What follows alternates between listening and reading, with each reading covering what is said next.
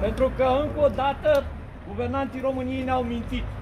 Și ne-au mințit pentru că așa pot ei și pentru că au concursul și multora din colegii noștri. Cei care ne reprezintă și cei care fac parte din sindicate. Astăzi, în ședință de guvern, promit că se va aproba gradul și cu echipament. Acum drepturile voastre țin de mai mult de atât. Faptul că aveți o funcție de 596 de lei un agent, în comparație cu minimul pe economie care e 3250, aia demonstrează tot despre ceea ce înseamnă salarizarea în sistemul de, de apărare. Aia înseamnă respectul pe care vi-l acordă vouă astăzi Guvernul României.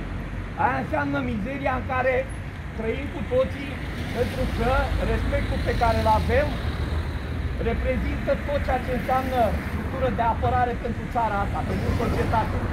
Faptul că astăzi cineva ne spune că ne va da, mai dă-ne Nicule 100 de lei, nu reprezintă punerea noastră în drepturile legale. Din 2022 trebuia să aveți salariu aplicat conform legii.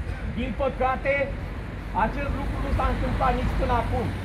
Și o să mai stăm așa, datorită indolenței unora dintre noi și a faptului că ne complacem în mizeria în care ne aruncă guvernul.